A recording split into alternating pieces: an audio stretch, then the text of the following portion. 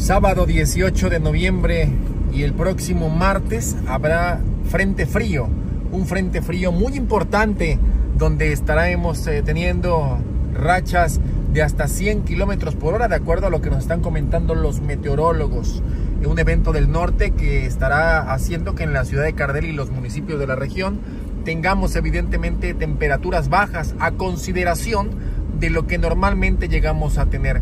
Son imágenes que tenemos para el canal de YouTube, exclusivamente el canal de YouTube de Tiempo Noticias de las 9 de la mañana con 38 minutos ya hoy sábado 18 de noviembre.